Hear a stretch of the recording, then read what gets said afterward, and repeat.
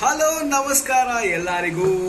Welcome to my film workshop day hello so let me wait ಸ್ವಲ್ಪ audience build ಆಗಲಿ. Wait ಮಾಡೋಣ. ಅಲ್ಲಿರ್ಗೋ ಕಷ್ಟ ಸುಂಕ ಹಂಚ್ಕೊಳ್ಳೋಣ. ಅದಾದಮೇಲೆ ಫಿಲ್ಮ್ ವರ್ಕ್ಶಾಪ್ನ ಸ್ಟಾರ್ಟ್ ಮಾಡ್ತೀನಿ. ಸ್ವಲ್ಪ ಆಡಿಯನ್ಸ್ ಬಿಲ್ಡ್ ಆದಮೇಲೆ, ಜಾಸ್ತಿ ಜನ ಇದ್ದ ಮೇಲೆ ಇಟ್ ಬಿ ಗುಡ್ ಸೊ ಎಲ್ಲರಿಗೂ ಕಷ್ಟ ಸುಖ ಹಂಚ್ಕೊಳ್ಳೋಣ. ಆಮೇಲೆ ಯಾಕೆ ಫಿಲ್ಮ್ ವರ್ಕ್ಶಾಪ್ ಮಾಡ್ತಾ ಇದ್ದೀನಿ ಅನ್ನೋದನ್ನ ನಿಮಗೆ ಹೇಳ್ತೀನಿ. ಆ್ಯಂಡ್ ಹೆಂಗೆ, ಸಿನಿಮಾ ಹೆಂಗೆ ಕತೆ ಬರೆಯೋದು ಹೆಂಗೆ ಸಿನಿಮಾ ಮಾಡೋದು ಅಂತ ಕೂಡ ಹೇಳ್ತೀನಿ. ವೆಲ್ ಇವಾಗ ಆಡಿಯನ್ಸ್ ಬಿಟ್ಟಾಗ್ತಂದ್ರೆ ನಮಸ್ಕಾರ ಎಲ್ಲರಿಗೂ. Once again welcome to my film workshop day one so ಎಲ್ಲರೂ ಮನೇಲಿ ಸೇಫ್ ಆಗಿದ್ದೀರಾ ಅಂತ ಅಂದ್ಕೊಳ್ತೀನಿ ಮನೇಲೇ ಇರಿ, ಎಲ್ಲೂ ಹೊರಗಡೆ ಹೋಗಬೇಡಿ. So that's my humble request well cinema ಮಾಡೋದು ಹೆಂಗೆ ಅಂತ ಎಲ್ರಿಗೂ ಹೇಳ್ಕೊಡೋದಕ್ಕೆ ಮುಂಚೆ, ನಾನು ಸಿನಿಮಾ ಮಾಡೋದು ಹೆಂಗೆ ಕಲ್ತ್ಕೊಂಡೆ ಅಂತ ಹೇಳ್ಕೊಡೋದಕ್ಕೆ ಇಷ್ಟಪಡ್ತೀನಿ. ಯಾಕೆಂದರೆ it might help a lot of people ನಮ್ಮ ನಂತರ ನಿಮ್ಮ ಥರ ತುಂಬ ಜನ ಇರ್ತಾರೆ. ಸೊ ಏಕೆಂದರೆ there are two things which you all have to know about me ಒಂದೇನಪ್ಪ ಅಂದರೆ, ನಾನು ಯಾವ ಫಿಲ್ಮ್ ಸ್ಕೂಲ್ಗೂ ಹೋಗಿ ಸಿನಿಮಾ ಮಾಡೋದು ಹೆಂಗೆ ಅಂತ ಕಲ್ತ್ಕೊಂಡಿಲ್ಲ. ಎರಡನೇದು, ಯಾವ ಡೈರೆಕ್ಟ್ ಅಂಡರು ಅಸಿಸ್ಟೆಂಟ್ ಡೈರೆಕ್ಟರ್ ಆಗಿ ಕೆಲಸ ಮಾಡಿ ಸಿನಿಮಾ ಮಾಡೋದು ಹೆಂಗೆ ಅಂತ ಕಲ್ತ್ಕೊಂಡಿಲ್ಲ. ಮತ್ತು ಹೆಂಗೆ ಸಿನಿಮಾ ಮಾಡೋದು ಕಲ್ತ್ಕೊಂಡೆ ಅನ್ನೋದು ಒಂದು ದೊಡ್ಡ ಪ್ರಶ್ನೆ ಆಗಿರುತ್ತೆ ನಿಮ್ಮ ಕೈಯಲ್ಲಿ. ಸೊ ಅದಕ್ಕೊಂದು ಪುಟ್ಟ ಸ್ಟೋರಿ ಇದೆ. ನಾನು ಸಿನಿಮಾ ಮಾಡೋದು ಹೆಂಗೆ ಕಲ್ತ್ಕೊಂಡೆ, ಇದು ಎರಡೂ ಮಾಡಿದ್ರೆ ಮತ್ತೆ ಸಿನಿಮಾ ಮಾಡೋದು ಹೆಂಗೆ ಕಲ್ತ್ಕೊಂಡೆ ಅಂತ. ಸೊ ಸಾಕಷ್ಟು ಜನ ನಂತರನೇ ತುಂಬ ಜನ ಇದ್ದೀರಾ ಅಂತ ನನಗೆ ಗೊತ್ತು.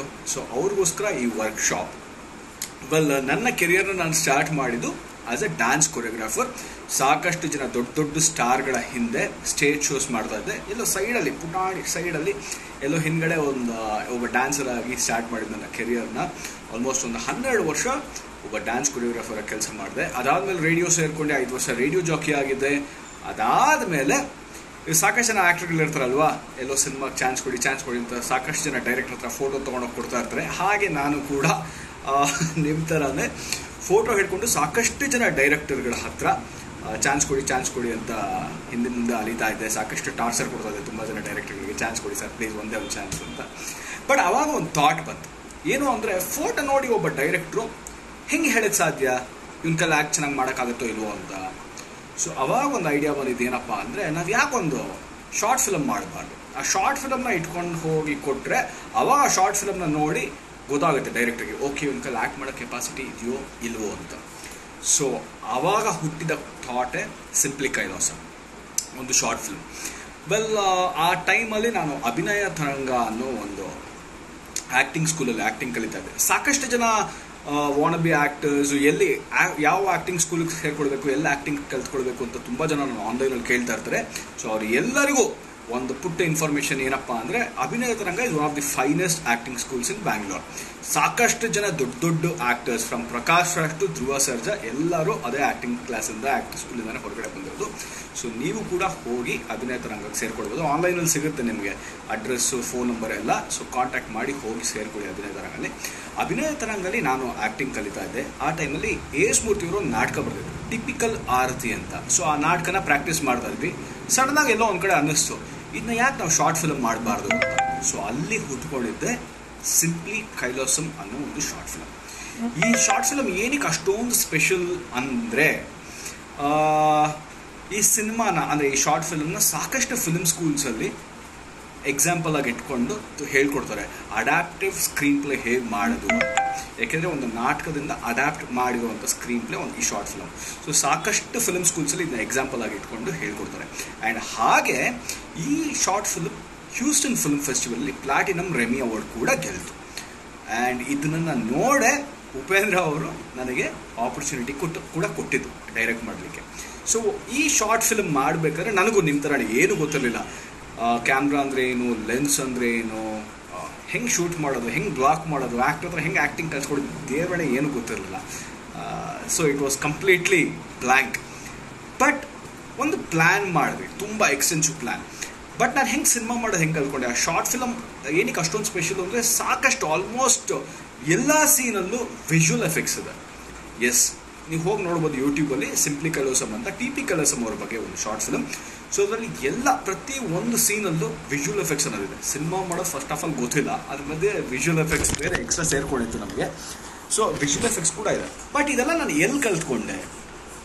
ನನ್ನ first and foremost teacher ಅಂದರೆ ನನ್ನ ಮೊದಲನೇ ಗುರು ಅನ್ನೋದೇ ಗೂಗಲ್ ಮತ್ತು ಯೂಟ್ಯೂಬ್ ನನ್ನ ಗುರುಗಳು ಗೂಗಲ್ ಮತ್ತು ಯೂಟ್ಯೂಬ್ ನೋಡಿಕೊಂಡು ನಾನು ಸಿನಿಮಾ ಮಾಡೋದು ಹೆಂಗೆ ಅಂತ ಮೊಟ್ಟ ಮೊದಲಾಗಿ ಕಲ್ತಿದ್ದು. ಸಾಕಷ್ಟು ಟ್ಯುಟೋರಿಯಲ್ಸ್ನ ನೋಡಿ, ಓದಿ. ಯೂಟ್ಯೂಬಲ್ಲಿ ಸಾಕಷ್ಟು ಫಿಲ್ಮ್ ಮೇಕಿಂಗ್ ಟ್ಯುಟೋರಿಯಲ್ಸು ಗೂಗಲಲ್ಲಿ ಸಾಕಷ್ಟು ಫಿಲ್ಮ್ ಮೇಕಿಂಗ್ ಟ್ಯುಟೋರಿಯಲ್ಸ್ ಇದೆ. ಸೊ ಅದನ್ನೆಲ್ಲ ನೋಡೇ ಸಿನಿಮಾ ಮಾಡೋದು ಹೆಂಗೆ ಅಂತ ಕಲ್ತ್ಕೊಂಡಿದ್ದು. ನಾನು ಯಾಕೆ ಈ ಕಥೆನ ನಿಮ್ಮ ಜೊತೆ ಹಂಚ್ಕೊಳ್ತಾ ಇದ್ದೀನಿ ಅಂದರೆ ನನ್ನ ಜೊತೆ ನಂತರ ತುಂಬ ಜನ ಇದ್ದೀರಾ. ಹೆಂಗೆ ಎಲ್ಲಿ ಸಿನಿಮಾ ಮಾಡೋದು, ಎಲ್ಲಿ ಕಲ್ತ್ಕೊಳ್ಳೋದು, ಯಾರ ಹತ್ರ ಹೋಗಿ ಸೇರಿಕೊಂಡು ಸಿನಿಮಾ ಮಾಡೋದು ಕಲ್ತ್ಕೊಳ್ತೀವಿ ಅಂತ, ನಿಮ್ಗೆ ಹಸಿವು ಅನ್ನೋದಿತ್ತು ಅಂದರೆ ಹಂಡ್ರೆಡ್ ಪರ್ಸೆಂಟ್ ನಿಮಗೆ ಗೂಗಲ್ಗಿಂತ ದೊಡ್ಡ ಟೀಚರ್ ಯಾರೂ ಇಲ್ಲ ನೀವು ಹುಡುಕಿ ಹುಡುಕಿ ಹುಡುಕಿ ಏನು ಬೇಕು ಹುಡುಕಿ ಹುಡುಕಿ ಹುಡುಕಿ ಕಲ್ತ್ಕೊಳ್ತೀವಿ ಸೊ ಸಿಂಪ್ಲಿ ಕಲೋಸಮ್ನ ಅದಾದ್ಮೇಲೆ ಆ, ಅದಾದ್ಮೇಲೆ ಮುಂದಿನ ಕಥೆ ಏನಪ್ಪ ಅಂದ್ರೆ ಸಿಂಪ್ಲಿ ಕಲೋಸಮ್ನ ಉಪೇಂದ್ರ ಅವ್ರು ನೋಡಿದ್ರು. ಅದು ಆಕ್ಚುಲಿ ಉಪೇಂದ್ರ ಅವ್ರಿಗೆ ಏನಕ್ಕೆ ಕೊಟ್ಟಿದ್ರು ಅಂದ್ರೆ ಅವ್ರು ನೆಕ್ಸ್ಟ್ ಡೈರೆಕ್ಟ್ ಮಾಡೋ ಸಿನಿಮಾದಲ್ಲಿ ನನಗೊಂದು ಅವಕಾಶ ಇದ್ರೆ ಆಕ್ಟ್ ಮಾಡೋ ಅವಕಾಶ ಇದ್ರೆ ಕೊಡಿ ಅಂತ ಉಪೇಂದ್ರ ಅವ್ರಿಗೆ ಹೋಗಿ ಕೊಟ್ಟೆ. ಬಟ್ ಅವರು ನನ್ನ ಟ್ಯಾಲೆಂಟ್ನ ರೆಕಗ್ನೈಸ್ ಮಾಡಿ, ಇಲ್ಲ ನೀವು ಆ್ಯಕ್ಟ್ಗಿಂತ ಡೈರೆಕ್ಟ್ ತುಂಬ ಚೆನ್ನಾಗಿ ಮಾಡ್ತಿದ್ರೆ you have to be a director ಅಂತ ಒಂದು ಆಪರ್ಚುನಿಟಿ ಕೊಟ್ಟು then we it to be wall together so this was the small story how I learn about film making so ಅದಾದಮೇಲೆ ಸಾಕಷ್ಟು ವಿಷಯಗಳನ್ನ ಕಲ್ತ್ಕೊಂಡಿದ್ದೀನಿ ಗೂಗಲ್ ನೋಡಿ ಸಾಕಷ್ಟು ವಿಷಯಗಳನ್ನ ಕಲ್ತ್ಕೊಂಡಿದ್ದೀನಿ ಸಿನಿಮಾ ಮಾಡೋದು ಹೆಂಗೆ ಅಂತ. ಯೂಟ್ಯೂಬ್ ನೋಡಿ ಸಾಕಷ್ಟು ವಿಷಯಗಳನ್ನ ಸಿನಿಮಾ ಮಾಡೋದು ಹೆಂಗೆ ಅಂತ ಕಲ್ತ್ಕೊಂಡಿದ್ದೀನಿ ಅದಾದಮೇಲೆ ಟೋಪಿ ವಾಲ ಮಾಡಬೇಕಾದ್ರೆ ಉಪೇಂದ್ರ ಅವ್ರು ಅಫ್ಕೋರ್ಸ್ ಇರಬೇಕಾದ್ರೆ ಸಾಕಷ್ಟು ವಿಷಯಗಳನ್ನ ಕಲ್ತ್ಕೊಂಡಿದ್ದೀನಿ ಅದಾದಮೇಲೆ ಶ್ರೀನಿವಾಸ ಕಲ್ಯಾಣ ಅದಾದಮೇಲೆ ಬೀರ್ಬಲ್, ಈಗ ಓಲ್ಡ್ ಮಾಂಕ್ ಈ ಜರ್ನಿಯಲ್ಲಿ ತುಂಬ ವಿಷಯಗಳನ್ನ ಸಿನಿಮಾ ಹೇಗೆ ಮಾಡಬೇಕು ಅನ್ನೋ ತುಂಬ ವಿಷಯಗಳನ್ನ ಕಲ್ತ್ಕೊಂಡಿನಿ ಕಲಿತಾನೆ ಇದ್ದೀನಿ. ಸೊ ನನ್ನ ಎಕ್ಸ್ಪೀರಿಯನ್ಸ್ ಸಿನಿಮಾ ಮಾಡೋ ಎಕ್ಸ್ಪೀರಿಯನ್ಸ್ನ ಇಟ್ಕೊಂಡು ನಿಮಗೆ ಸಿನಿಮಾ ಮಾಡೋದು ಹೇಗೆ ಅಂತ ಹೇಳ್ಕೊಡ್ತೀನಿ. ಯಾಕೆಂದರೆ ನಾನು ಮೊದಲೇ ಫಸ್ಟಲ್ಲೇ ಹೇಳ್ದಂಗೆ ಫಸ್ಟ್ ಆ್ಯಂಡ್ ಫಾರ್ಮೋಸ್ಟ್ ಥಿಂಗ್ ನಾನು ಯಾವ ಫಿಲ್ಮ್ ಸ್ಕೂಲ್ಗೂ ಹೋಗಿ ಸಿನಿಮಾ ಮಾಡೋದು ಹೇಗೆ ಅಂತ ಕಲ್ತ್ಕೊಂಡಿಲ್ಲ. ಎರಡನೇದು ಯಾವ ಡೈರೆಕ್ಟರ್ ಅಂಡರು ಅಸಿಸ್ಟೆಂಟ್ ಡೈರೆಕ್ಟರ್ ಆಗಿ ಕೆಲಸ ಮಾಡಿ ಸಿನಿಮಾ ಮಾಡೋದು ಹೆಂಗೆ ಅಂತ ಕಲ್ತ್ಕೊಂಡಿಲ್ಲ. ಉಪೇಂದ್ರ ಅಂತ ಅತ್ಯದ್ಭುತ ಡೈರೆಕ್ಟರ್ನ ಡೈರೆಕ್ಟರ್ ಡೈರೆಕ್ಟರ್ ಡೈರೆಕ್ಟ್ ಮಾಡಿದಂಥ ಯಂಗೆಸ್ಟ್ ಡೈರೆಕ್ಟರ್ ಅಂತ ಹೇಳ್ಬೋದು. ವೆಲ್ ಓಕೆ ಇವತ್ತಿನ ಕ್ಲಾಸ್ ಶುರು ಮಾಡೋಣ. ಮೊದಲನೇದಾಗಿ ಸಿನಿಮಾಗೆ ಫೌಂಡೇಶನ್ ಅಂತ ನಾವು ಏನು ಕರಿತೀವಿ? ಅದರಿಂದ ಶುರು ಮಾಡೋಣ. ಅಂದರೆ ಕತೆ story story is very important that is the foundation for every cinema so ಕತೆ ಬರೆಯೋದು ಹೆಂಗೆ? ಸಿನಿಮಾ ಕತೆ ಹೆಂಗೆ ಬರೆಯೋದು ಅನ್ನೋದನ್ನ ಶುರು ಮಾಡೋಣ. ಯಾಕೆ ಫೌಂಡೇಶನ್ ಅಂತ ಹೇಳ್ತೀನಿ ಅಂದರೆ, ಕತೆ ಇಲ್ಲ ಅಂದರೆ ಸಿನಿಮಾ ಇಲ್ಲ. ಕತೆ ಇದ್ದರೆ ಮಾತ್ರ ಅದೊಂದು ಸಿನಿಮಾ ಆಗೋದು, ಅದಕ್ಕೊಂದು ಶೇಪ್ ಎಲ್ಲ ಸಿಗೋದು. ಸೊ ಕತೆ ಇದ್ದರೆ ಮಾತ್ರ ಅದೆಲ್ಲ ಸಿಗೋದು. ಸೊ ಕತೆ ಈಸ್ ವೆರಿ ಇಂಪಾರ್ಟೆಂಟ್ ಸೊ ಈ ಕತೆ ಬರೆಯೋದು ಹೆಂಗೆ ಸಿನಿಮಾಗೆ? ಎಲ್ಲರ ಹತ್ರನೂ ಒಂದು ಕತೆ ಇರುತ್ತೆ, ಅಲ್ವಾ? ನಿಮ್ಮ ಹತ್ರ ಒಂದು ಕತೆ ಇರುತ್ತೆ ನಿಮ್ಮ ಫ್ರೆಂಡ್ ಹತ್ರ ಹೋಗಿ ಕೇಳಿ, ಅವನ ಹತ್ರನೂ ಒಂದು ಕತೆ ಇರುತ್ತೆ, ಅವ್ನ ಫ್ರೆಂಡ್ ಹತ್ರ ಹೋಗಿ ಕೇಳಿ, ಅವನ ಹತ್ರನೂ ಒಂದು ಕತೆ ಇರುತ್ತೆ ಸ್ಟೂಡೆಂಟ್ ಹತ್ರ ಕತೆ ಇರುತ್ತೆ, ಆಟೋ ಡ್ರೈವರ್ ಹತ್ರ ಕತೆ ಇರುತ್ತೆ, ಒಬ್ಬ ಹೋಟೆಲಿರೋ ವೆಯ್ಟರ್ ಹತ್ರ ಕತೆ ಇರುತ್ತೆ, ಅದಾದಮೇಲೆ ಸಿನಿಮಾದಲ್ಲಿ ಟಿಕೆಟ್ ಹಂಚ್ತಾ ಇರ್ತಾರಲ್ಲ, ಅವ್ರ ಹತ್ರ ಕೂಡ ಒಂದು ಕತೆ ಇರುತ್ತೆ, ಪ್ರತಿ ಒಬ್ಬರ ಹತ್ರನೂ ಒಂದು ಕತೆ ಇರುತ್ತೆ. ಈ ಕಥೆನ ಸಿನಿಮಾ ರೂಪಕ್ಕೆ ಹೆಂಗೆ ತರೋದು ಅನ್ನೋದು ಒಂದು ದೊಡ್ಡ ಕ್ವೆಶನ್ ಮಾರ್ಕ್ ಸಾಕಷ್ಟು ಜನ ಎಲ್ಲೂ ಗೊತ್ತಿರೋದಿಲ್ಲ, ಸಿನಿಮಾಗೆ ಹೆಂಗೆ ಕತೆ ಬರೆಯೋದು ಸ್ಕ್ರಿಪ್ಟ್ ಹೆಂಗೆ ಬರೆಯೋದು ಅನ್ನೋದು ತುಂಬ it's a very closed atmosphere ಅದು ಯಾವತ್ತೂ ಎಲ್ಲೂ ಹೇಳ್ಕೊಟ್ಟಿಲ್ಲ. ಹೆಂಗೆ ಕತೆ ಬರೆಯೋದು ಅಂತ. ಸೊ ಇವತ್ತು ಆ ಫಾರ್ಮ್ಯಾಟ್ನ ಹೇಳ್ಕೊಡ್ತೀನಿ. ಏಕೆಂದರೆ ಸಿನಿಮಾ ಕತೆ ಹೆಂಗೆ ಬರೆಯೋದು ಅಂತ ಹೇಳ್ಕೊಡ್ಬೋದು ಆದರೆ ಇಮ್ಯಾಜಿನ್ ಹೆಂಗೆ ಮಾಡೋದು ಅಂತ ಯಾರು ಹೇಳ್ಕೊಡೋಕ್ಕಾಗಲ್ಲ. ಅದು ಒಂದು ಯಾವಾಗಲೂ ತಿಳ್ಕೊಳ್ಳಿ. ಇಮ್ಯಾಜಿನೇಷನ್ ಅನ್ನೋದು ಯಾರ ಕೈಲೂ ಹೆಂಗೆ ಮಾಡೋದು ಅಂತ ಹೇಳ್ಕೊಡೋಕ್ಕಾಗಲ್ಲ. ಇಮ್ಯಾಜಿನ್ ಮಾಡಿರೋದನ್ನ ಹೆಂಗೆ ಸಿನಿಮಾ ರೂಪಕ್ಕೆ ತರ್ಬೋದು ಅಂತ ಮಾತ್ರ ಹೇಳ್ಕೊಡ್ಬೋದು. ಸೊ ನೀವು ಸಾಕಷ್ಟು ಕಥೆಗಳನ್ನು ಇಮ್ಯಾಜಿನ್ ಮಾಡಿರ್ಬೋದು ಬಟ್ ಅದನ್ನ ಹೆಂಗೆ ಕತೆ ಮಾಡೋದು ಅಂತ ಗೊತ್ತಿಲ್ಲದೆ ಒದ್ದಾಡ್ತಾ ಇರ್ತಾರೆ. ಸೊ ಇವತ್ತು this today the first class will be how to write a story for film well ನೀವೊಂದು ಇಮ್ಯಾಜಿನ್ ಮಾಡಿರ್ತಾರೆ, ಯಾವುದೋ ಒಂದು ಕಥೆನ. ಒಂದೂರಲ್ಲಿ ಒಬ್ಬ ರಾಜ್ಕುಮಾರ ಇದ್ದ ಅನ್ನೋದು ಒಂದು ಒಂದು ಲೈನ್ ಇರ್ಬೋದು. ಈ ಥರ ಒಂದು ಥಾಟ್ನ imagine ಮಾಡಿರ್ತೀರ. First and foremost thumb rule of cinema making is ನಿಮ್ಮ ಥಾಟ್ನ ನಿಮ್ಮ ಕಥೆನ. ಯಾಕೆಂದ್ರೆ ಎಲ್ರಿಗೂ ಅನ್ಸಿರುತ್ತೆ, ನಾನು ಮಾಡಿರೋ ಕಥೆನೇ ಅತ್ಯದ ದಿ ಬೆಸ್ಟ್ ಕತೆ, ನಾನು ಮಾಡಿರೋ ಥರ ಕತೆ ಇನ್ಯಾರು ಮಾಡೋಕ್ಕೆ ಸಾಧ್ಯನೇ ಇಲ್ಲ ಅಂತ ಎಲ್ರಿಗೂ ಆ ಫೀಲಿಂಗ್ ಇರುತ್ತೆ, ನನಗೂ ಆ ಫೀಲಿಂಗ್ ಇರುತ್ತೆ, ಪ್ರತಿಯೊಬ್ಬರಿಗೂ ಆ ಫೀಲಿಂಗ್ ಇರಬೇಕು. ಅವಾಗಲೇ ಏನೋ ಒಂದು ಕಡದ ಕಿತ್ತಾಕೋಕ್ಕಾಗೋದು. ಸೊ ಹಾಗಾಗಿ ತಮ್ ರೂಲ್ ಸೇಸ್ ನಿಮ್ಮ ನಿಮ್ಮ ಇರೋ ಥಾಟ್ನ ಪೆನ್ನು ಪೇಪರ್ ತೊಗೊಂಡು, ಒಂದು ಪೆನ್ನು ಪೇಪರ್ ತೊಗೊಂಡು ಬರೀರಿ ಒಂದು ಲೈನಲ್ಲಿ ನಿಮ್ಮ ಕಥೆನ ಬರೀರಿ. Thumb says if can write a story in one line that has a good potential to become a very good film. So thumb rule ನಿಮ್ಮ ಕಥೆನ ಒಂದು ಲೈನಲ್ಲಿ ಹೇಳೋಕ್ಕಾಗತ್ತೆ ಅಂದರೆ it has a good potential to become a very good film so ಒಂದು ಲೈನಲ್ಲಿ ನಿಮ್ಮ cinema ಕಥೆನ ಹೇಳೋಕ್ಕಾಗಬೇಕು. ಯಾವುದೇ ಸಿನಿಮಾ ತಗೊಳ್ಳಿ ಒಂದು ಲೈನ ಹೇಳೋಕ್ಕಾಗುತ್ತೆ. ಫಾರ್ ಎಕ್ಸಾಂಪಲ್ ರೀಸೆಂಟಾಗಿ ಬಂದಿರೋದು ಕೆ ಜಿ ಎಫ್ ಅಂತ K G F one line ಏನು? ರಾಕಿ ಅನ್ನೋ ಒಬ್ಬ ವಾನಬಿ ರೌಡಿ ಒಬ್ಬ ಡಾನ್ ಗರುಡನ್ನ ಸಾಯಿಸೋದಕ್ಕೆ ಸುಪಾರಿ ತಗೊಳ್ತಾನೆ. ಅವನು ಹೆಂಗೆ ಗರುಡನ್ನ ಸಾಯಿಸ್ತಾನೆ ಅನ್ನೋದು ಮಿಕ್ಕಿದ ಕಥೆ. This is the one line story of K G F ಅದನ್ನ ಅವರು ಅತ್ಯದ್ಭುತವಾಗಿ ಎಕ್ಸಿಕ್ಯೂಟ್ ಮಾಡಿದ್ರು. And it was a blockbuster ಇಡೀ ಭಾರತ ಚಿತ್ರರಂಗನೇ ನಮ್ಮ ಕನ್ನಡ ಚಿತ್ರರಂಗದ ಕಡೆ ತಿರುಗಿ ನೋಡೋ ಆಯ್ತು. So first and foremost thumb rule is write in one line ನಿಮ್ಮ ಕಥೆನ ಒಂದು ಲೈನಲ್ಲಿ ಹೇಳೋ ಹಾಗೆ ಆಗಿರಬೇಕು. ಪೆನ್ ಪೇಪರ್ ತಗೊಂಡು ಒಂದು ಲೈನಲ್ಲಿ ಬರೀರಿ. ನಿಮ್ಮ ಕತೆ ಏನು? So coming to the next ಹೆಂಗೆ ಇವಾಗ ನೆಕ್ಸ್ಟ್ ಹಿಂಗೆ ಸಿನಿಮಾಗೆ ಹಿಂಗೆ ಕಥೆ ಮಾಡಿದೆ? ಆಯ್ತು ಒನ್ ಲೈನ್ ಹತ್ರ ಇದೆ. ಒಂದು ಒಬ್ಬ ರಾಜ್ಕುಮಾರ ಇದೆ. ಆ ರಾಜ್ಕುಮಾರ ಎ ಬಿ ಸಿ ಡಿ ಮಾಡ್ತಾನೆ ಎಕ್ಸ್ ವೈ ಝೆಡ್ ಕಲ್ಗೆ ಹೋಗ್ತಾನೆ, ಇಲ್ಲಿ ಮಾಡ್ತಾನೆ, ಹಂಗೆ ಮಾಡ್ತಾನೆ, ಹಿಂಗೆ ಮಾಡ್ತಾನೆ, ಹಿಂಗೆ ಹಿಂಗೆಲ್ಲ ಆಗುತ್ತೆ. ಸೊ ಒನ್ ಲೈನ್ ಕತೆ ನಿಮಗೆ ಗೊತ್ತು. ಒಂದು ಊರಲ್ಲಿ ಒಬ್ಬ ರಾಜ್ಕುಮಾರ್ ಹಿಂಗೆ ಮಾಡ್ದೆ ಹಿಂಗೆ ಮಾಡ್ದೆ ಹಿಂಗೆ ಮಾಡ್ದೆ ಹಿಂಗಾದ್ರೆ ಹಿಂಗಾಯ್ತು ಸೊ ಇದು ಹೆಂಗೆ ಮಾಡ್ತಾನೆ ಅನ್ನೋದು ಕತೆ.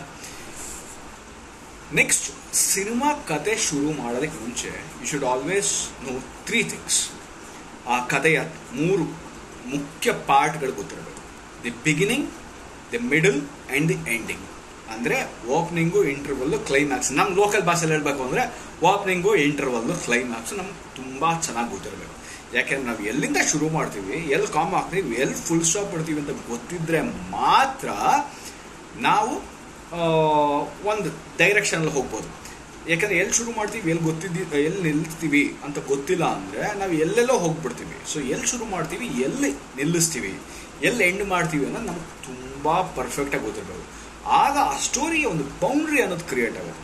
ಆ ಬೌಂಡ್ರಿ ಅಂತ ಕ್ರಿಯೇಟ್ ಆದಮೇಲೆ ನಾವು ಎಷ್ಟು ಬೇಕಾದ್ರೂ ಆಟ ಆಡ್ಬೋದು. ಯಾವ ಥರ ಸೀನ್ ಬೇಕಾದ್ರೂ ಆಟ ಮಾಡ್ಬೋದು. ಯಾವುದೇ ಒಂದು ಬೌಂಡ್ರಿ ಕ್ರಿಯೇಟ್ ಮಾಡ್ಬೇಕಾದ್ರೆ ಆ ಬೌಂಡ್ರಿ ಒಳಗಡೆ ಹೆಂಗೆ ಬೇಕಾದ್ರೂ ಆಟ ಆಡ್ಬೋದು.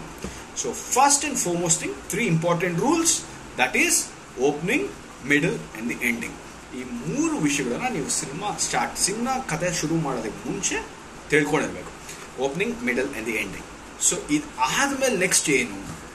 ಓಕೆ ನನಗೆ ಓಪನಿಂಗ್ ಗೊತ್ತು ಇಂಟರ್ವಲ್ ಪಾಯಿಂಟ್ ಏನು ಅಂತ ಗೊತ್ತು ಕ್ಲೈಮ್ಯಾಕ್ಸ್ ಏನು ಈ ಕಥೆದು ಅನ್ನೋದು ಗೊತ್ತು. ಮುಂದೆ ಏನು ಅಂದರೆ ಕ್ಯಾರೆಕ್ಟರ್ ಡೆವಲಪ್ಮೆಂಟ್ ಸಾಕಷ್ಟು ಜನ ನನಗೆ ಇನ್ಬಾಕ್ಸ್ ಕೂಡ ಮಾಡಿರ ಪ್ರಶ್ನೆನ ಕೇಳಿದಿರ, ಒಂದು ಕ್ಯಾರೆಕ್ಟರ್ನ ಹೆಂಗೆ ಡೆವಲಪ್ ಮಾಡೋದು ಅಂತ. ಸೇ ಫಾರ್ ಎಕ್ಸಾಂಪಲ್ ಹೀರೋ ಕ್ಯಾರೆಕ್ಟರ್ನ ಹೆಂಗೆ ಡೆವಲಪ್ ಮಾಡ್ತೀವಿ ಅಂದರೆ ಹೀರೋ ಹೀರೋಗೆ ಏನು ಇಷ್ಟ? ಏನು ಬಟ್ಟೆ ಹಾಕ್ತಾನೆ? Okay what is the name of the hero for example ಒಂದು ಪೆನ್ನು ಪೇಪರ್ ತಗೊಳ್ಳಿ, ಒಂದು ಕಾಲಮ್ ಮಾಡಿ. ಹೀರೋ ಅವನ ಹೆಸರೇನು? ಅವನ ಫುಲ್ ಹೆಸರೇನು, ಅಡ್ಡ ಹೆಸರೇನು, ಚಿಕ್ಕ ಹೆಸರೇನು, ದೊಡ್ಡ ಹೆಸರೇನು? ಬರೀರಿ. ಅವನ ಏಜ್ ಏನು? ಅವನು ಯಾವ ಥರ ಬಟ್ಟೆ ಹಾಕ್ತಾನೆ? ಮಿಡಲ್ ಕ್ಲಾಸ ಹೈ ಕ್ಲಾಸಾ ಲೋ ಕ್ಲಾಸಾ ಯಾವ ಥರ ಬಟ್ಟೆ ಹಾಕ್ತಾನೆ, ಯಾವ ಥರ ಗಾಡಿ ಓಡಿಸೋಣ ಬೈಕ್ ಓಡಿಸೋಣ ಕಾರ್ ಓಡಿಸೋಣ ಅವನಿಗೆ ಏನು ಇಷ್ಟ ಏನು ಇಷ್ಟ ಇಲ್ಲ. ಅಪ್ಪ, ಅಮ್ಮ ಇದ್ದಾರಾ, ತಂಗಿ, ಅಣ್ಣ, ತಂಗಿ, ತಮ್ಮ ಯಾರು ಇದ್ದಾರಾ. ಅವನಿಗೆ ಏನು ಮ್ಯಾನರಿಸಮ್ ಹ್ಯಾಬಿಟ್ಸ್ ಏನು? ಒಳ್ಳೆ ಅಭ್ಯಾಸ ಏನಿದೆ, ಕೆಟ್ಟ ಅಭ್ಯಾಸ ಏನಿದೆ, ದಮ್ಮ ಹೊಡಿತಾನ, ಎಣ್ಣೆ ಹೊಡಿತಾನ? ಕಂಪ್ಲೀಟಾಗಿ ಬರೀರಿ.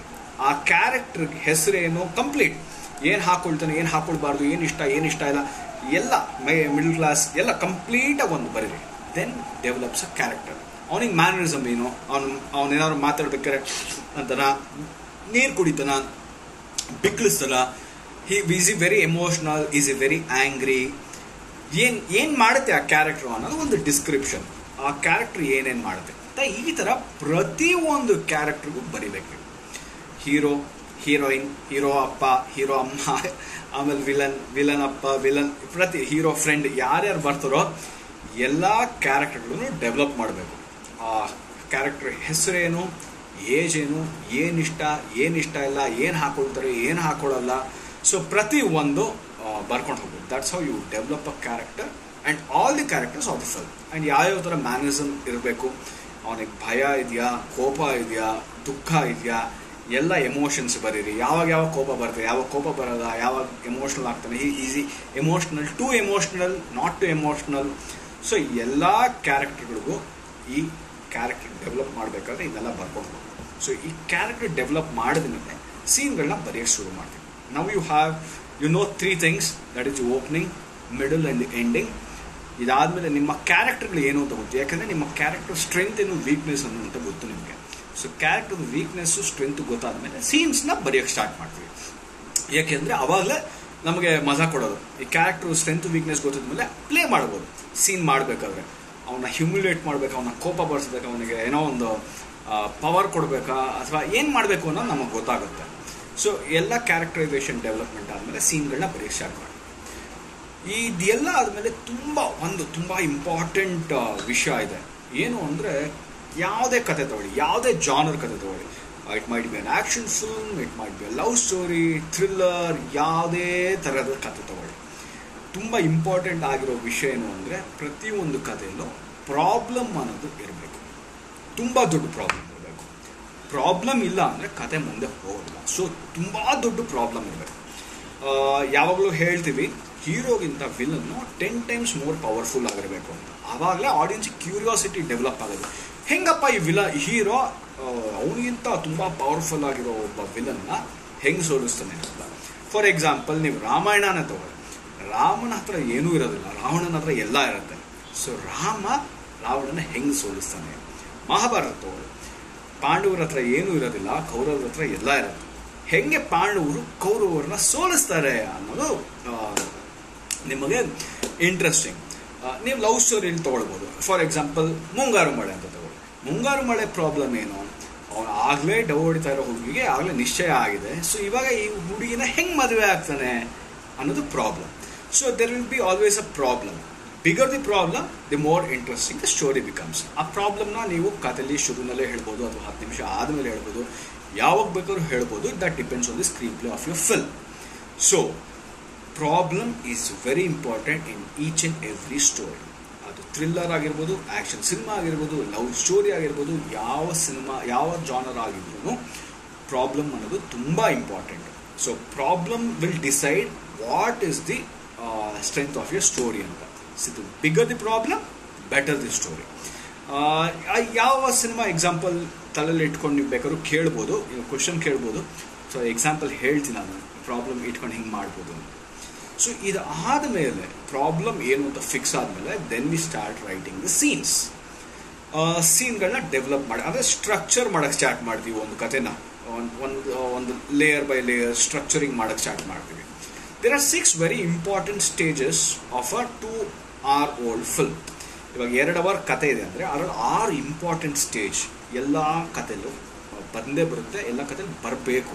ಆವಾಗ you can make a good story good interesting story to six important stages ಏನಪ್ಪ ಅಂದರೆ ನಾನು ಸ್ಕ್ರೀನ್ ಪ್ಲೇ ಬಗ್ಗೆ ಹೇಳ್ದಲ್ಲ ಕತೆ ಮಾಡೋದ್ರ ಬಗ್ಗೆ ಸಿನಿಮಾ ಕತೆ ಮಾಡೋದ್ರ ಬಗ್ಗೆ ಹೇಳ್ತಾ ಇದ್ದೀನಿ ಆರು ಇಂಪಾರ್ಟೆಂಟ್ ಸ್ಟೇಜ್ ಆ ಎರಡು ಅವರ್ ಕಥೆಯಲ್ಲಿ ಆರು ಇಂಪಾರ್ಟೆಂಟ್ ಸ್ಟೇಜ್ ಏನು ಅಂದರೆ ಫಸ್ಟ್ ಮೊದಲನೇ ಹದಿನೈದು ನಿಮಿಷ.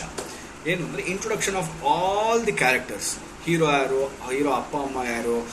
ವಿಲನ್ ಯಾರು? ವಿಲನ್ಗೆ ಸಂಬಂಧಗಳು ಯಾರು? ಹೀರೋ ಫ್ರೆಂಡ್ಸ್ ಯಾರು? ಎಲ್ಲ ಕ್ಯಾರೆಕ್ಟರ್ನ ಇಂಟ್ರಡ್ಯೂಸ್ ಮಾಡ್ತೀರಾ.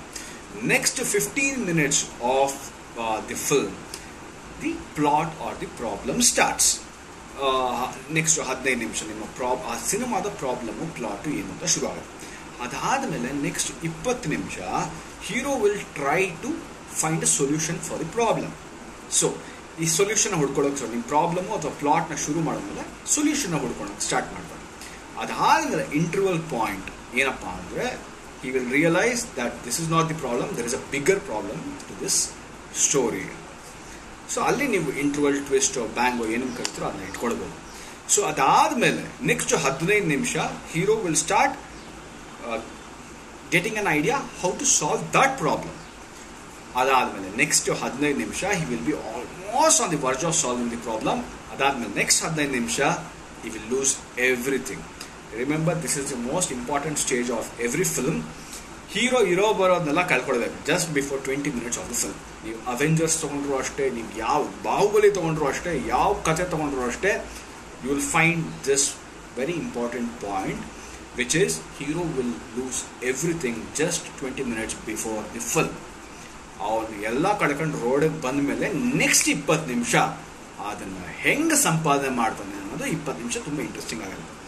ಇದು ಎಲ್ಲ ಕಥೆಗಳು, ತುಂಬ ದೊಡ್ಡ ದೊಡ್ಡ ಕಥೆಗಳು. ಬಾಹುಬಲಿಯಿಂದ ಅವೆಂಜರ್ಸಿಂದ ಹಿಡಿದು ಯಾವ ಸಿನಿಮಾ ತೊಗೊಂಡ್ರು this will be a very important point in film making in or writing the story for a film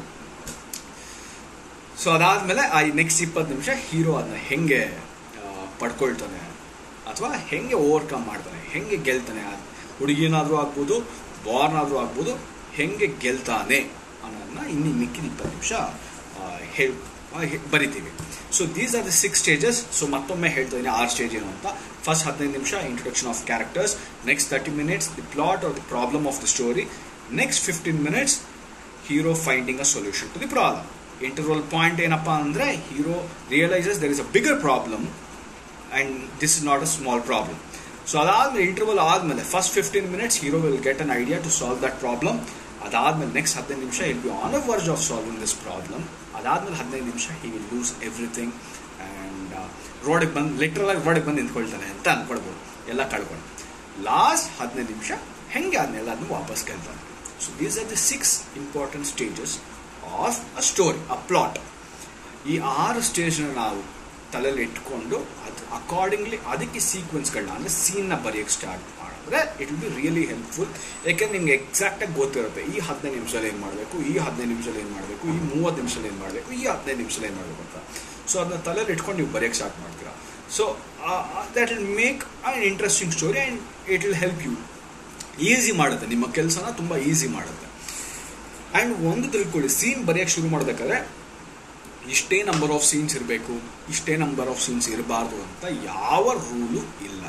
And the most important rule of film making is there are no rules ತುಂಬ ದೊಡ್ಡ ದೊಡ್ಡ film makers ಎಲ್ಲರೂ ರೂಲ್ನ break ಮಾಡಿದ್ದಾರೆ. From Steven Spielberg to James Cameron to Christopher Nolan ಎಲ್ಲರೂ ರೂಲ್ನ break ಮಾಡಿದ್ದಾರೆ.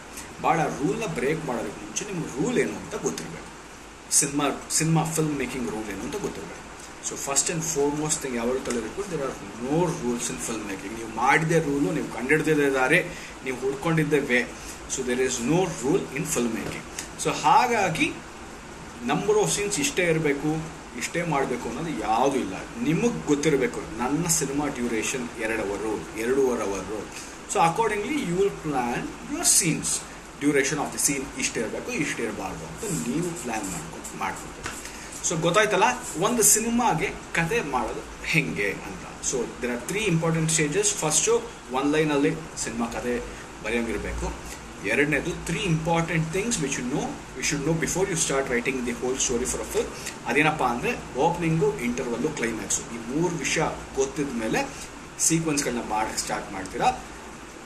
ಮೂರನೇ ಇಂಪಾರ್ಟೆಂಟ್ ಥಿಂಗ್ ಏನು ಅಂದರೆ problem bigger the problem more entertaining the script ಯಾವ ಜಾನರ್ ಆದರೂ ಆಗಲಿ bigger the problem more entertaining the stage ನಾಲ್ಕನೇ ತುಂಬ ಇಂಪಾರ್ಟೆಂಟ್ ವಿಷಯ ಏನು ಅಂದರೆ ಸ್ಟ್ರಕ್ಚರಿಂಗ್ ಆಫ್ ದಿ ಸ್ಟೋರಿ ಅಂತ ವಿಷಯ ಬಂದಾಗ, ಹದಿನೈದು ಹದಿನೈದು ನಿಮಿಷ ಆರು ಭಾಗಗಳಾಗಿ ವಿಂಗಡಿಸಿದ್ದೀವಿ ಆ ಆರು ಭಾಗಗಳು ಮತ್ತೊಮ್ಮೆ ಹೇಳ್ತಾ ಇದ್ದೀನಿ.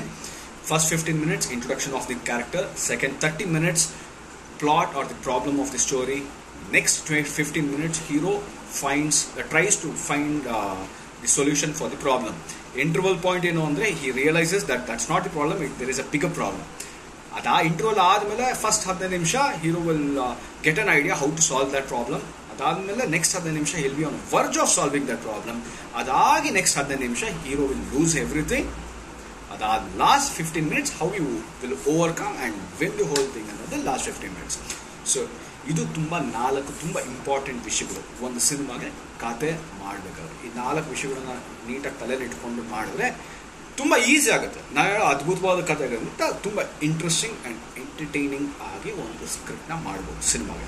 ಅಂದರೆ ನೋಡುಗರನ್ನ to the seat hook to the sweet ಅಂತ ಹೇಳ್ತಾರಲ್ಲ ಅದನ್ನ ಕೂರಿಸ್ಕೊಂಡು ಮಾಡ್ಬೋದು.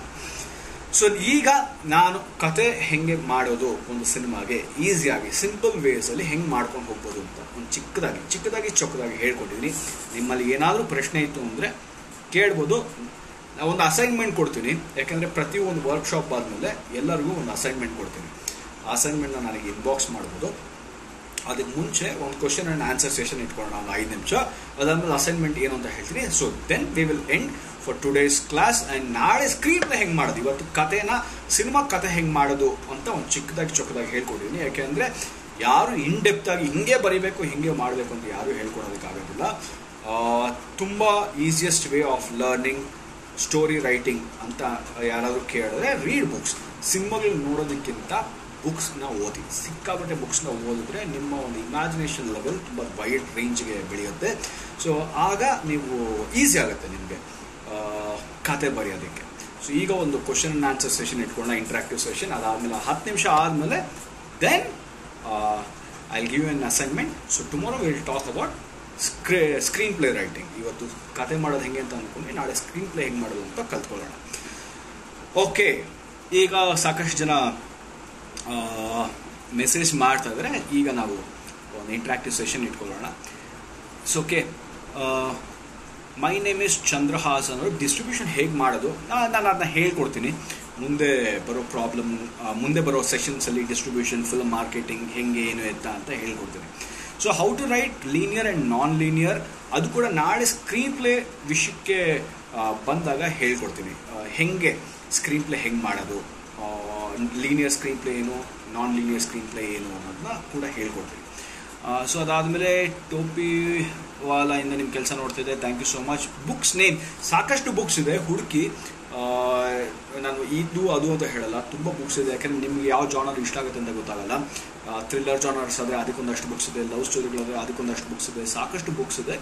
ಸೊ ಸಾಕಷ್ಟು ಬುಕ್ಸ್ಗಳನ್ನ ಓದಿ. ನಿಮ್ಮ ಇಮ್ಯಾಜಿನೇಷನ್ ಲೆವೆಲ್ ವೈಡನ್ ಆಗುತ್ತೆ. ಆ್ಯಂಡ್ ಹಾಗೆ ಕತೆ ಹೆಂಗೆ ಮಾಡಿದ್ರು ಸೀನ್ಗಳನ್ನ ಹೆಂಗೆ ಮಾಡೋದು ಅಂತ ತುಂಬ ಈಸಿಯಾಗಿ ಕಲ್ತ್ಕೊಳ್ಬೋದು format of screen writing screen play ವಿಷಯಕ್ಕೆ ಬಂದಿರೋ ಎಲ್ಲ ಪ್ರಶ್ನೆಗಳನ್ನು ನಾಳೆ ಮಾತಾಡೋಣ. ಅದಾದ ಮೇಲೆ ಬೀರ್ಬಲ್ ಸ್ಕ್ರಿಪ್ಟ್ ಪ್ಲೇಸ್ ಓಕೆ ನಾನು ಪಿ ಡಿ ಎಫ್ನ ಅಪ್ಲೋಡ್ ಮಾಡ್ತೀನಿ. ಅದಕ್ಕೊಂದು ಲಿಂಕ್ ಕೂಡ ಪೋಸ್ಟ್ ಮಾಡ್ತೀನಿ. So you can download and ಸಾಕಷ್ಟು ಟ್ಯುಟೋರಿಯಲ್ಸ್ ಇದೆ ಆನ್ಲೈನಲ್ಲಿ ಯೂಟ್ಯೂಬಲ್ಲಿ ಮಾಸ್ಟರ್ ಕ್ಲಾಸಸ್ ಇದೆ. ಆಮೇಲೆ ಗೂಗಲ್ ಕೂಡ ಸಾಕಷ್ಟು ವಿಷಯಗಳಿದೆ.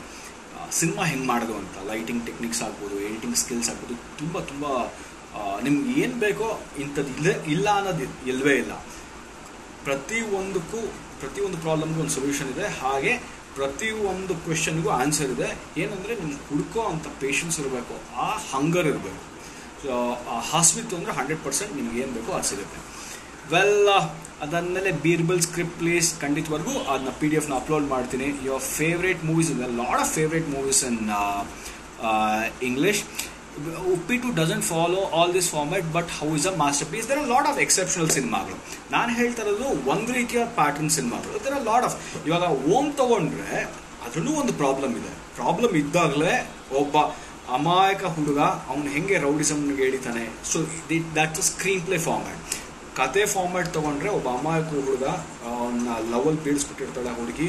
ಅವನು ರೌಡಿ ಹೆಂಗೆ ಆದ ಅನ್ನೋದು ಕತೆ. ಇವಾಗ ಆ ಹುಡುಗಿನ ಹೆಂಗೆ ಬೀಳಿಸ್ಕೊಳ್ತಾನೆ ಅನ್ನೋದು ಕತೆ. ಸೊ ಸ್ಕ್ರೀನ್ ಪ್ಲೇಲಿ ಉಲ್ಟಾ ಸೀದಾ ಉಲ್ಟಾ ಸೀದಾ ಪ್ರಾಬ್ಲಮ್ನ ಫಸ್ಟ್ ತಗೊಂಡ್ಬಿಡ್ತೀನಿ, ಆಮೇಲೆ ಕತೆ ಫ್ಲಾಶ್ ಬ್ಯಾಕ್ನ ಆಮೇಲೆ ಹೇಳ್ತೀನಿ. So the lot of things even a has a problem every film has a problem ಆ ಪ್ರಾಬ್ಲಮ್ ಏನು ಅಂತ ನಾವು ಹುಡುಕ್ಬೇಕು ಅಷ್ಟೇ ಸೊ ಅದಾದಮೇಲೆ really appreciate you work doing here thank you so much suggest some movies ಅಂದರೆ ನಾನು ಯಾವ ಫಿಲ್ಮ್ ಸಜೆಸ್ಟ್ ಮಾಡೋಕ್ಕಾಗಲ್ಲ. ಯಾಕಂದ್ರೆ ನನಗೆ ಇಷ್ಟ ಆಗೋದು ನಿಮ್ಗೆ ಇಷ್ಟ ಆಗದಲ್ಲೇ ಇರ್ಬೋದು, ನಿಮ್ಗೆ ಇಷ್ಟ ಆಗೋ ಸಿನಿಮಾ ನನಗೆ ಇಷ್ಟ ಆಗದಲ್ಲೇ ಇರ್ಬೋದು. The lot of masterpieces like Inception Dark Knight ಅದರ ಕ್ರಿಸ್ಟೋಫರ್ ನೋಲನ್ ಸಿನಿಮಾಗಳು ತುಂಬ ಇಷ್ಟ. ಜೇಮ್ಸ್ ಕ್ಯಾಮ್ರನ್ ಸಿನಿಮಾಗಳು ತುಂಬ ಇಷ್ಟ. ರಾಜ್ಕುಮಾರ್ ಸಂತೋಷಿ, ರಾಜ್ಕುಮಾರ್ ಹಿರಾನಿ ಸಿನಿಮಾಗಳು ಸಾಕಷ್ಟು ನನಗೆ ತುಂಬ ಇಷ್ಟ. ಅದಾದ ರಾಜ್ಮೌಳಿ ಸಿನಿಮಾಗಳು ಸಾಕಷ್ಟು ತುಂಬ ಇಷ್ಟ. ನನಗೆ ತುಂಬ ಇಷ್ಟ ಆಗೋ ವಿಷಯಗಳೇನು ಅಂದರೆ ಶಂಕರ್ ಅವರ ಡೈರೆಕ್ಷನಲ್ಲಿ ತುಂಬ ಇಷ್ಟ ಆಗೋ ವಿಷಯ ಏನಪ್ಪ ಅಂದರೆ ತುಂಬ ಕಾಂಪ್ಲಿಕೇಟೆಡ್ ಆಗಿರೋ ವಿಷಯನ ಎಲ್ರಿಗೂ ಅರ್ಥ ಆಗೋ ರೀತಿ ಹೇಳ್ತಾರೆ. ಫಾರ್ ಎಕ್ಸಾಂಪಲ್ ಅನಿಯನ್ ಅನ್ನೋ ಒಂದು ತುಂಬ ಕಾಂಪ್ಲಿಕೇಟೆಡ್ ಆಗಿರೋ ಒಂದು ಥಾಟ್ ಅಂದರೆ ಮಲ್ಟಿಪಲ್ ಪರ್ಸನಾಲಿಟಿ ಡಿಸಾರ್ಡರ್ ಅದನ್ನು ಒಬ್ಬ ಆಟೋ ಡ್ರೈವರ್ ಕೂಡ ಅರ್ಥ ಆಗೋ ರೀತಿಯಲ್ಲಿ ಹೇಳ್ತಾರೆ. ಆ ಸಿನಿಮಾ ಮಾಡ್ತಾರೆ. ಸೊ ನನಗೆ ತುಂಬ ಇಷ್ಟ ಆಗೋ ವಿಷಯ ಅದು. ಆ್ಯಂಡ್ ಇವನ್ ಮುರುಗದಾಸ್ ಅವರು ಗಜ್ನಿ ಸಿನಿಮಾ ಮಾಡಿದ್ರು. ಗಜ್ನಿ ಅಂದರೆ ಶಾರ್ಟ್ ಟರ್ಮ್ ಮೆಮೊರಿ ಲಾಸ್ ಮೊಮೆಂಟೋಲ್ ನಾವು ನೋಡಿದ್ವಿ. ಆ ಒಂದು ಥಾಟ್ನ ಇಟ್ಕೊಂಡು ಗಜ್ನಿ ಅನ್ನೋ ಸಿನಿಮಾ ಮಾಡಿದ್ರು. ಗಜ್ನಿಲಿ ಶಾರ್ಟ್ ಟರ್ಮ್ ಮೆಮೊರಿ ಲಾಸ್ ಅನ್ನೋ ಈ ಥಾಟ್ ಪ್ರತಿಯೊಬ್ಬರಿಗೂ ಅರ್ಥ ಆಗೋ ರೀತಿಯಲ್ಲಿ ಹೇಳೋದು ನಾನು ಕೇಳ್ಕೊಳ್ಳೋದು ಅದೇ.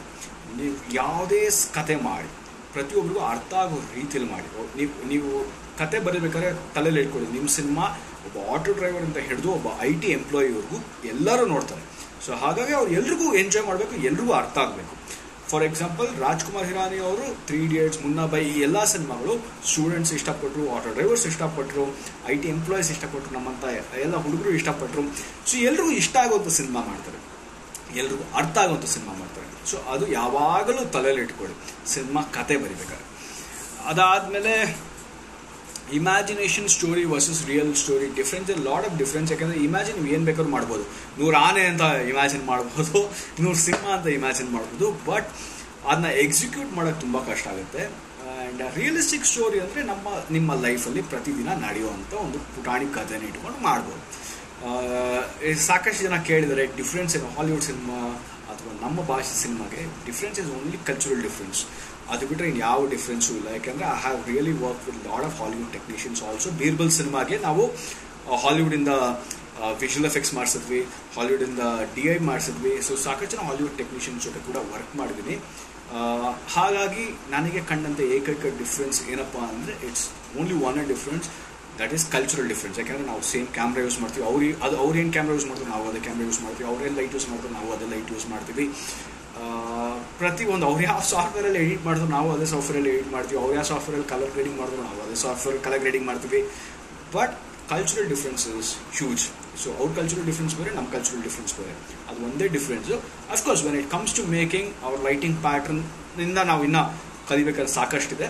ಸೊ ಅದನ್ನ ಇನ್ನು ತುಂಬ ಜನ ಈಗ ಬರ್ತಾರೋ ಹುಡುಗರಂತೂ ಅದ್ಭುತವಾಗಿ ಲೈಟಿಂಗ್ ಮಾಡ್ತಾ ಇದ್ದಾರೆ ಅದ್ಭುತವಾಗಿ ಸಿನಿಮಾಟೋಗ್ರಫಿ ಮಾಡ್ತಾ ಇದ್ದಾರೆ ಸೊ ಹಾಗಾಗಿ lot of things have improve so mobile film making as you can make a film using your mobile phone ಯಾಕೆಂದರೆ ನಾ ಹೇಳಿದ್ರೆ ಆವಾಗಲೇ ಹಂಗರ್ ಇದೆ ಅಂದರೆ ನೀವು ಯಾವ್ದ್ರಲ್ಲಿ ಬೇಕೋ ಶೂಟ್ ಮಾಡ್ಬೋದು ಮೊಬೈಲಲ್ಲಿ ಬೇಕೋ ಶೂಟ್ ಮಾಡ್ಬೋದು, ಪುಟಾಣಿ ಕ್ಯಾಮ್ರಲ್ಲಿ ಡಿ ಎಸ್ ಎಲ್ ಅಲ್ಲಿ ಬೇಕೋ ಶೂಟ್ ಮಾಡ್ಬೋದು.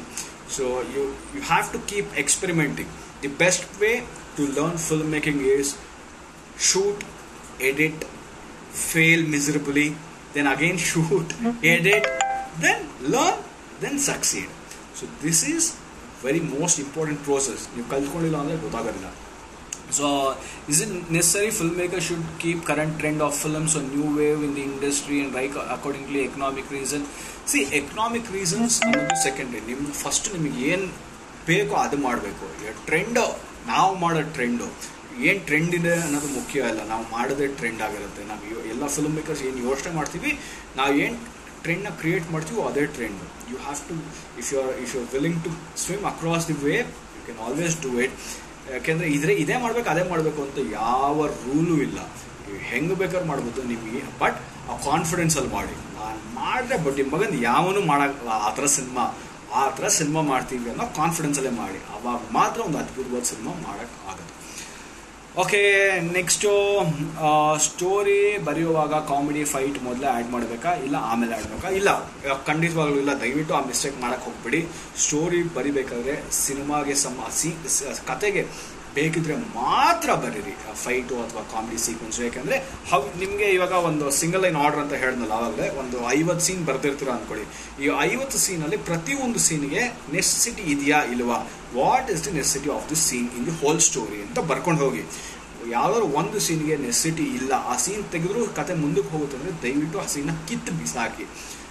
ನೆಸ್ ಹೆಂಗಿರ್ಬೇಕಂದ್ರೆ ಸ್ಟಿಚ್ ಮಾಡ್ದಂಗೆ ಇರಬೇಕು ಒಂದು ಇಟ್ಕೆ ಕಲ್ಲನ್ನ ಜೋಡಿಸ್ದಂಗೆ ಇರಬೇಕು ನಿಮ್ಮ ಕತೆ.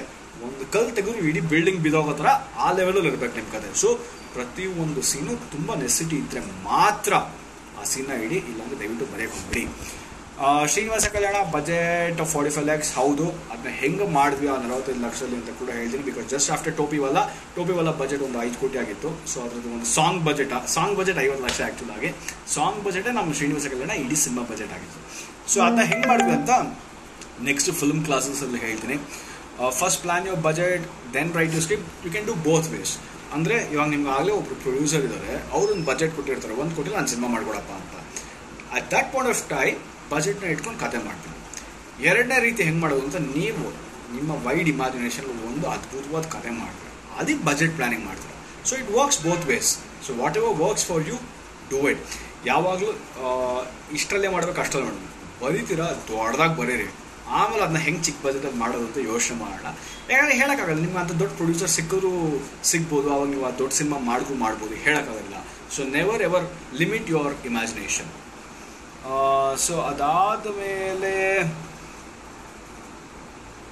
ಬಜೆಟ್ ಎರಡು ಥರ ಮಾಡ್ಬೋದು. ಒಂದು ಸ್ಕ್ರೀನ್ ಪ್ಲೇ ಮಾಡಿದ ಮೇಲೆ ಮುಂಚೆ ಓಕೆ ಸೊ ಈಗ ಓಕೆ ಫೈನ್ ಇವತ್ತಿನ ಈ ಫಿಲ್ಮ್ ವರ್ಕ್ಶಾಪ್ನ ಎಂಡ್ ಮಾಡ್ತೇನೆ. ಹೋಪ್ ನಿಮಗೆ ಹೆಲ್ಪ್ ಆಗಿರ್ಬೋದು ಈ ಫಿಲ್ಮ್ ವರ್ಕ್ಶಾಪಿಂದ ಆ್ಯಂಡ್ ಇವತ್ತಿನ ಅಸೈನ್ಮೆಂಟ್ ಏನಪ್ಪ ಅಂದರೆ ಮೂರು ಪಾಯಿಂಟಲ್ಲಿ ಒಂದು ಕತೆ ಹೇಳಬೇಕು. ಅಂದರೆ ಒಂದು ಕತೆ ಬರಿಬೇಕು. ನಾನು ಆಗಲೇ ಹೇಳಲ್ಲ ಓಪನಿಂಗು ಮಿಡಲು ಎಂಡಿಂಗು ಸೊ ಈ ಮೂರು ಪಾಯಿಂಟಲ್ಲಿ ಒಂದು ಕತೆನ ಬರೆದು ನನಗೆ ಇನ್ಬಾಕ್ಸ್ ಮಾಡಿ, ತುಂಬ ಇಂಟ್ರೆಸ್ಟಿಂಗ್ ಆಗಿತ್ತು ಅಂದರೆ ಆ ಕತೆ ಬಗ್ಗೆ ನಾವು ಡಿಸ್ಕಸ್ ಮಾಡೋಣ ಫಾರ್ ಎಕ್ಸಾಂಪಲ್ ಒಂದೂರಲ್ಲಿ ಒಬ್ಬ ರಾಜ್ಕುಮಾರ ಇದ್ದ, ಅವನು ಹಿಂಗಿದ್ದ, ಹಂಗಿದ್ದ, ಹಂಗೆ ಮಾಡ್ದ.